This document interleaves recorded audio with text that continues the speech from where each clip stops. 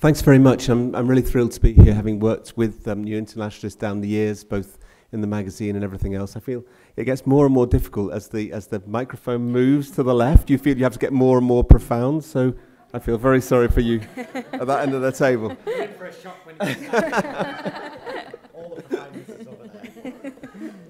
But I do think that for, for, for us at War and Want, the, the idea of internationalism has been an absolutely central issue of how to define it, how to engage in it throughout our rich history, and, and certainly going back to the 1970s in particular.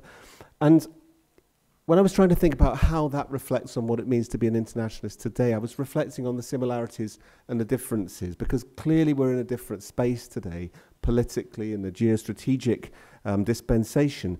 But for us, surely internationalism has got to still be political action. It's got to be political action in that global struggle for justice. And I think that's for us where you take solidarity from just easy, cozy statements of support up into another, another, another level. Because it does become a form of political intervention, shoulder to shoulder on the side of the oppressed.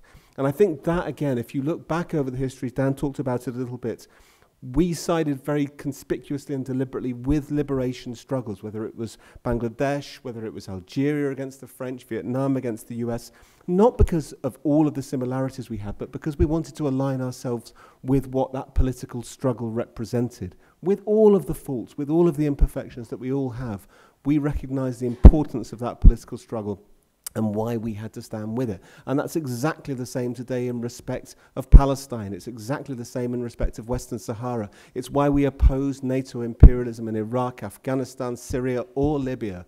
And that still remains to me absolutely fundamental. It's also working with those who are oppressed by the state.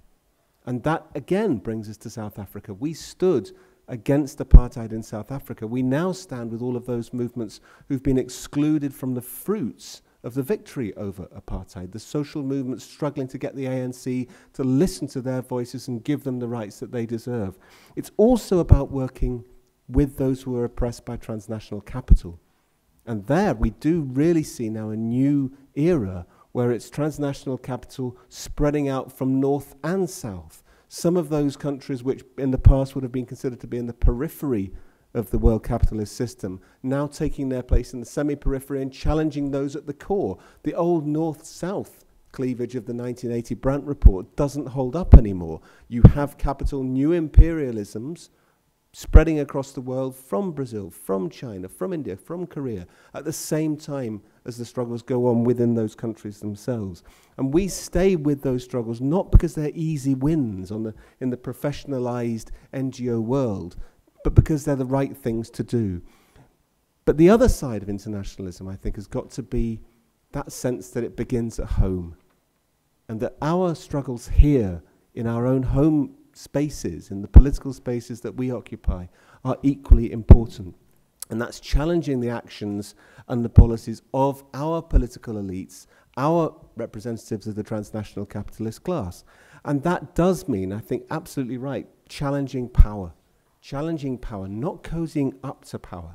And I think for me, working again in that international NGO world, this is where the sectors which we engage in have gone badly wrong.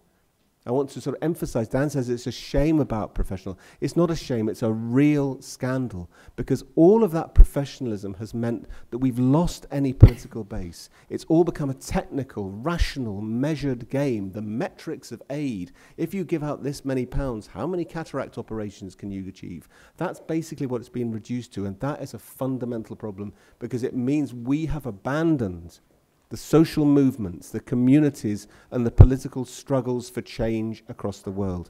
And the final sort of area of that has got to be then that we bring it back home in terms of our national political action here.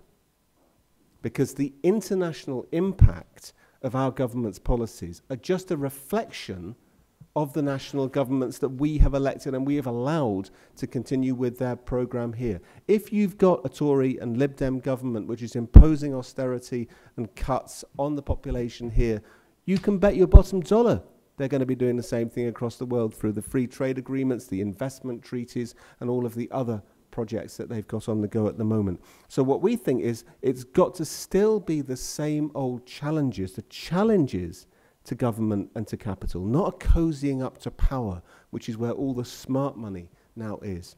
It's got to be a question of the rise of corporate philanthropy. What the hell has Bill Gates got to do telling the world how to run it itself, rather than joining with them in their CSR schemes, the corporate social responsibility, which just means more power to capital to operate on its own terms. And for us also, it's about fighting for the positive alternatives to capitalism. There are thousands and thousands of positive alternatives around the world. We need to support them. We need to unite in solidarity with them, be more than just words, and be action. That surely is what internationalism means now, just as it ever has.